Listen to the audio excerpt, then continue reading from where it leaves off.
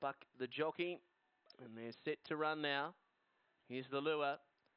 Away and racing, and Buck the jockeys began really well from the outside, showing a bit of speed. Guraween, and they're looking to slide across in the early part as Buck the jockey accelerates away. Then Gallows Best, My Fernando Tim, Chloe Crumpet, Murrabit Benny's making up some ground, but it is all Buck the jockey. Race clear to Murrabit Benny, and Buck the jockey a big, big winner. Buck the jockey by five or six to Murrabit Benny, third My Fernando Tim, and then Gallows Best, Chloe Crumpet and Guraween showed a bit of speed, but was clearly the last one in. Time for the journey, 16 and 60.